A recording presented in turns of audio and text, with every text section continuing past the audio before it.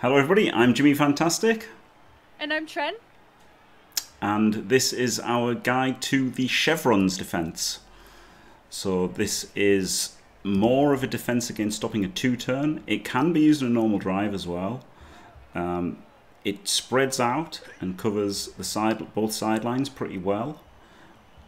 It, it can be used. The LOS doesn't have to be a throwaway LOS, like it doesn't have to be just linemen. It could be strong players because they are somewhat supported, especially if you if you creep it one forward and you've got a player on the diagonal, then that can protect the LOS. But the main purpose of this is to stop is to stop early pushes. So it's not so good against a turn 8 drive. It's totally fine against a turn 8 drive. But where it really shines is trying to stop a two turn touchdown because it's pretty difficult to, to to go down the sides. And it's because of this like diagonal formation it's not super easy to go through the middle. Um, like there is a bit of a gap here. So you, you, you can push through either through here or you can push down here. Um, those are the main the main weaknesses of it. It's good if you haven't got that many players you need to protect. So like something like orcs or dwarves um, NAF style teams where there's not a great discrepancy in players like you know there's not too many skills on the team or the skills aren't too different. So because you're only getting two players protected really these so these these two should be your most reactive players um, because they they all they just can't be hit off the off the first turn. Everyone else can be though. Um, it's also pretty decent against a blitz. As you can see there would be a lot of space here to go into. Um, but I mean this is this is going for two turn here so your opponent does have to cover the whole width against a blitz if it's an eight turn drive. So that's that's a bonus for it. It's like spreading the offense uh, uh, apart a bit. And uh, yeah, that's it. It's it's a fine defense. You can use it most of the time. The only thing comes with if you've got a lot of good players, then you can only protect two. So you know if you've got say four really good like Chaos Warriors or whatever, two of them can get hit on you know, and, and you don't really want that sometimes. Um, this should be the player you don't you want to not get hit often because if they blitz this guy they can't break through at all. And these four should be the ones with the best defensive skills because these are the four that they're going to target with you know trying to break through. They're, they're either breaking through down here or through here basically. Um, so yeah that's pretty much pretty much the chevron's defense i would say um, so yeah right uh, over to you i guess I'll do my best trying to go through it. Glorious. Okay, whereas with the rule rule of five, I like to kind of split halfway with this one. Um, I've learned my lesson to just choose a side and go down that side. So that's what I'm gonna do here. There's only one option, and that's choosing a side. So. Yeah.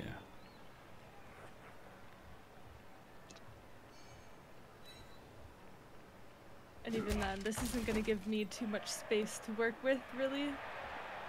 No, that is that is the problem. You don't get you don't get too much space down there.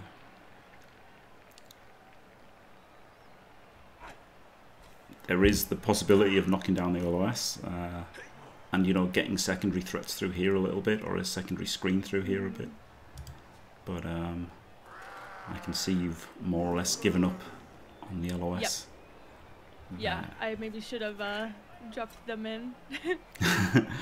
uh, potentially, yeah. I think it probably was worth knocking over this guy at least, and then trying to dodge through there as a, a three plus. Yeah, yeah. The side one. I re- I'm realizing that now. It's been a while since I've played against the setup. To be fair. Mm-hmm. Um. Yeah. Now I'm trying to make the best of what I myself. Uh, it's not looking too great. I think there is a Tato in the future. oh, the, the Blood Bowl Classic. so yeah, I tried. I tried to make this pretty symmetrical, right? Uh, the tackle is over this side, so then made up for it by having more guard over here.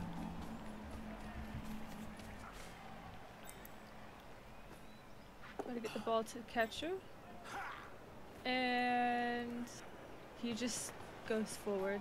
And then I'm gonna try and make up for my previous mistake by taking this hit. Oof. Ha. That's bad. It's pretty bad, yeah. That's pretty got bad. lo- you got reroll though. Oh No. no, that's pretty bad. Oh, that's yeah, that's it. So yeah, now this is a bit of a weakness of the uh, of the chevrons here, in that this guy can't get over too far, right? Like, and if it's a slower team, then the guys who are isolated over here can get, you know, quite isolated. People can get quite isolated over there. Um, but yeah, this is.